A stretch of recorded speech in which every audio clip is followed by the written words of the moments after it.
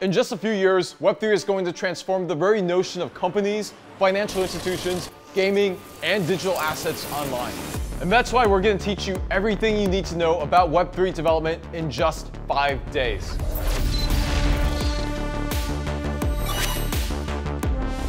Whether you're starting out or you've already explored this industry, this course will help you take the next step and get ready for this exciting future. I brought some of the best developers and entrepreneurs in the world today working on Web3 to teach you how you can get started in this exciting space right now.